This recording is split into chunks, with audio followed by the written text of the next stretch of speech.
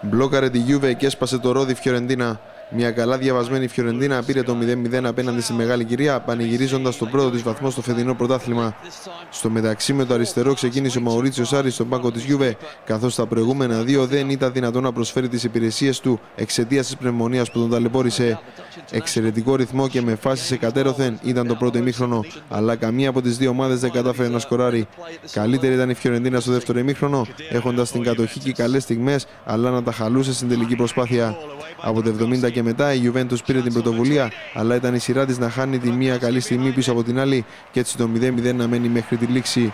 Η τρίτη αγωνιστική της Serie A. Σαββάτο Φιωρεντίνα Juventus 0-0, Νάπολη Σαμπτόρια 2-0, Ίντερ Ρουτινέτζε 1-0, Κυριακή Τζένοα Αταλάντα 1-2, Μπρέσια Πολώνια 3-4, Πάρμα Κάγιαρη 1-3, Σπαλάτσιο 2-1, Ρώμα Σασουόλο 4-2, Βερόνα Μίλα 0-1.